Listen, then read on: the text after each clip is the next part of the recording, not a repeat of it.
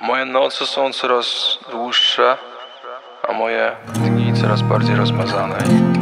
Niby widzę się w lustrze, ale jakoś nie poznaję. A słońce, do którego tak kiedyś dążyłem, teraz daje mi tylko cień, który nie wiem, czy chcę poznać. Nic tak nie wierzyłem i niczego nie pragnąłem tak bardzo, tego, by koniec oznaczał koniec, że może być inaczej, że już nigdy nie będzie tak, jak było. Rozczarowanie, strach, poczucie, że nic nie czuję, wraca. Moje słowa przeczą myślom, a myśli słowom.